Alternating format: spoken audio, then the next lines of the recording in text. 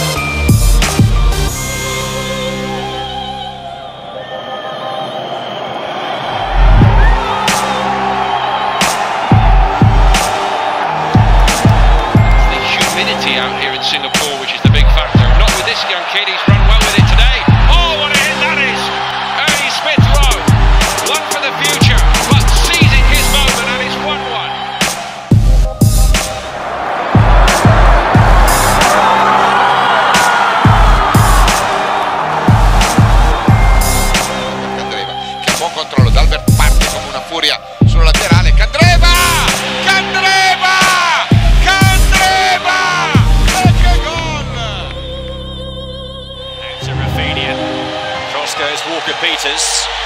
This is Arthur. Good effort. Oh, it's a wonderful goal. Something superb out of Arthur. The new